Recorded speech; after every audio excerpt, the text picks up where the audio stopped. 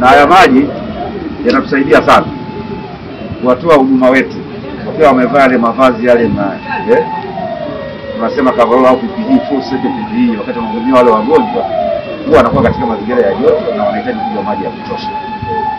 Lakini pili, na na wagonjwa wetu pia, maji unajua ni sehemu ya tiba. Kwa hiyo uwepo wa maji haya si tu kwamba maji kama unavyoona maji, lakini pia ni sehemu ya tiba, yanasaidia sana kwenye tiba ya wagonjwa wetu, lakini pia kuwafanya wafanyakazi wetu wafanye kazi katika mazingira ambayo ni, ni mazuri zaidi.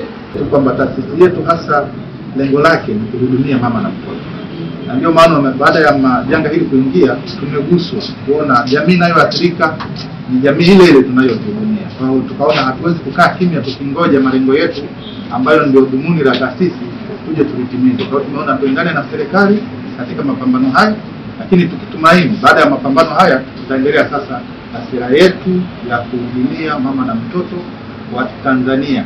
Ukweli ni kwamba swala kubwa zaidi ni kujikinga. Tiba inakuwa ni ghali zaidi kuliko kujikinga, na sehemu kubwa ni kwamba tunatakiwa kuwa kuzingatia maelezo ambayo yanatolewa na wataalamu wa afya, tukae mbali na watu wengine, kama angalau mita moja kutoka kwa mtu mwingine, tuvae barakoa kama mimi nilivyovaa hivi. Wakati watu wengine wanakuwa ni wakaidi kidogo, lakini swala ni kukumbushana. Huu sio utamaduni wetu, kwa hiyo tunabidi tukumbushane kila wakati kila wakati ili angalau tuweze kuvuka hili janga. Hakuna kitu kingine kikubwa zaidi ya kufanya zaidi ya kunawa mikono, kujitenga na watu wengine, lakini tuendelee kufanya kazi zetu, lakini pia tukimwomba Mungu katika janga hili.